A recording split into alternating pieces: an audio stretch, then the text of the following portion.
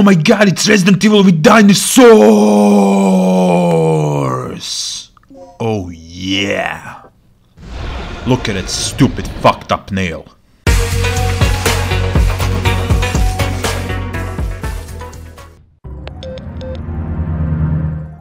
I just really don't get it. I'm sure that might be a valid reasoning for that kind of situation, but I seriously doubt I'll ever get the right answer. So you are developer or publisher or both, and you happen to have one very successful franchise at your disposal. You milk it as you see fit because it's a natural business practice. But some of them have two or more IPs of great value that should generate numerous sequels and more often than not, you would see them downright abandoning those IPs. Why? It's not that they weren't successful. Take a look at the Squaresoft from the PS1 times when they were making wonders after wonders. Parasite Eve? Dead after third birthday. That wasn't even a proper Parasite Eve sequel. Chrono Break? Never gonna happen, even though Chrono Cross was very successful. Take a look at the Sony and The Legend of Dragoon. Very good JRPG. Sold very well. Sequel? In your dreams, Dart.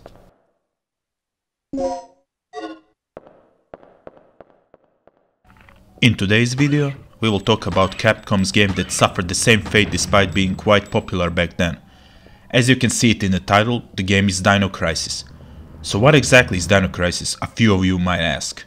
In essence, we can say for sure that it's Resident Evil with dinosaurs. That's it, roll the credits now. Cut, done, finito, arrivederci. Or not. Let's get back into the situation, shall we?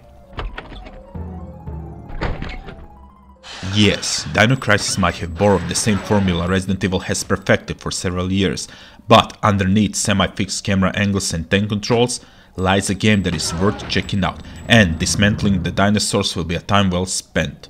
Sure, the story is blatantly basic, or rather uninteresting, it just serves as a plot device and nothing else. The puzzles are not that challenging, even though they're cool, but the setting and the dinos are more than making up for it. For the extinct creature that we as a human race, at least in known history, have never seen in our lives, the developers at Capcom, in my opinion, got a pretty good idea how to make them believable. I presume that they used the existing lizards for the inspiration behind their AI and moveset, Unlike zombies in Resident Evil that are slowly moving towards you until they grab you, dinos are observing you and attack suddenly as they see it fit. You can never know what's their next move, so this adds to the suspense, especially if you find yourself in a situation where two or more dinos are attacking you and you have no ammunition. Add a suspenseful or sometimes rather unnerving music and you got yourself an excellent horror gaming experience.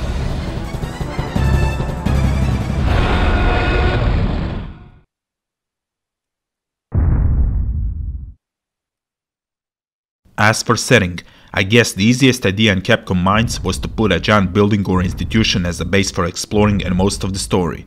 Resident Evil 1 has a mansion, Resident Evil 2 has a police station, Dino Crisis has a research facility. In fact, the entire story of the game is located on a remote island called Ibis, where this facility is situated and Dr. Kirk with his minions is undergoing some sketchy experiments in developing weapons using so-called third energy technology. This probably caught attention from those whose attention needs to be caught, to say the least, and Special Operation Raid Team, abbreviated SORT, sent Tom to investigate what's going on, just to verify that Dr. Kirk is in fact not dead and is doing aforementioned work. SORT also sends four agents afterwards, Gail, Rick, Cooper and you as a redhead Regina to get Kirk to custody. This wouldn't be a typical plot if somebody doesn't die right from the start. Cooper was unfortunate to one and was regurgitated by T-Rex right in the FMV intro. By the time of the accident, he was away from the other three, so they didn't even know what kind of danger lies ahead, so they proceeded to the facility and that's where the game begins.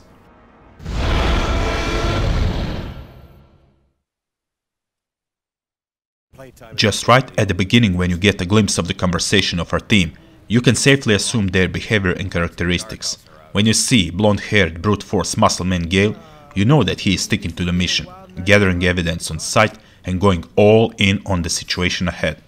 That means he definitely won't refrain from using heavy weaponry to eliminate the threat, in other words killing the dinos. Rick has more tactical approach, plus he's a skilled technician.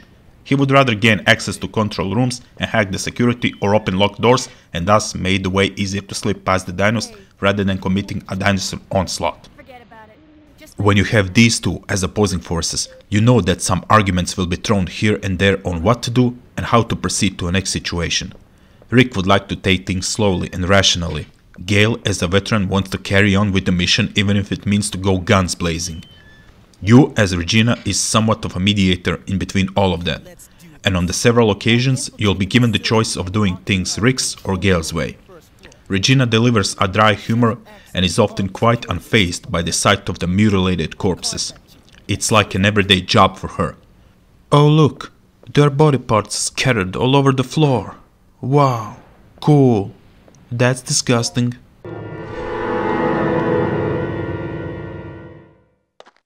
That's disgusting.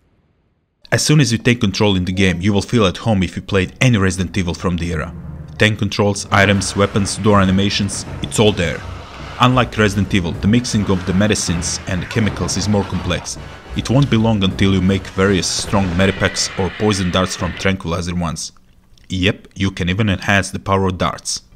Unfortunately, there are no vaults to store extra items, but item boxes scattered around the building. Each one of the item box requires you to have certain amount of plugs to open them. As for the weapons, Regina will have handgun, shotgun and grenade launcher. Every weapon has a multiple types of ammunition, so you choose it as you see it fit.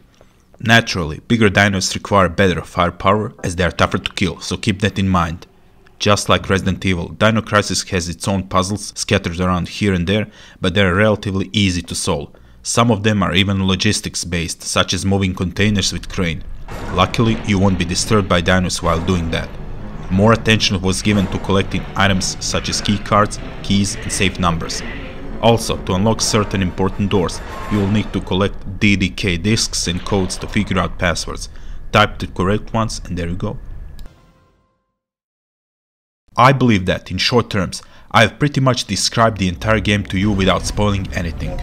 Dino Crisis has 4 endings depending on the choices you make and if you do either of them under 5 hours, which is very much doable, you will unlock a new mode, Operation Wipeout.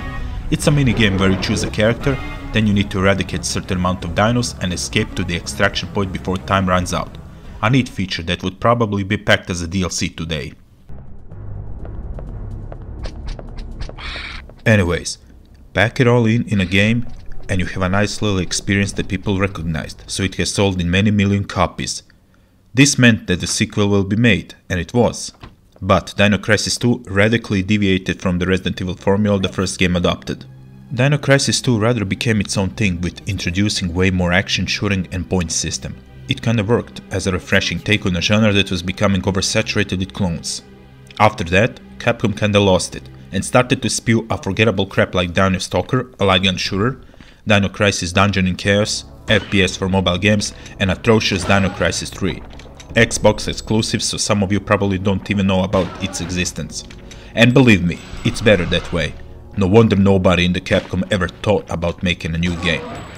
But still, 18 years have passed and all that was left was occasional rumor about Capcom making Dino Crisis 4. As far as we know, they were just that, rumors. But when you look how good Resident Evil 2 Remake is, you cannot help but wonder how Dino Crisis would look and feel like to play if Capcom would make it in a similar fashion. Just imagine how awesome it would be. I admit, at first when Resident Evil 2 Remake was announced, I was highly skeptical about changing the gameplay style. I thought it should have been done in the way Resident Evil 1 Remake was done. Fixed cameras, tank controls, and overall gameplay should have remained the same. But when I saw first gameplay of Resident Evil 2 Remake, I was blown away. The fear of Capcom's potential ruin of a remake was uncalled for. The remake turned out to be great. Unfortunately, Resident Evil 3 Remake was a half-assed rushed job, but I guess it's passable. The core gameplay mechanic is still great, but cut levels and the way Nemesis was sorted out is stupid. Obviously Capcom made great engine for the games, and I believe deep in my heart the Dino Crisis Remake done the same way Resident Evil 2 Remake was made would be awesome. Oh, and Regina would look. Damn, man. So please, Capcom, do us a favor and do a Dino Crisis remake. We want to shoot dinos again and a T-Rex in its big ass sharp pointed teeth mouth. You know the game would sell like hot cupcakes. Please, Capcom, please.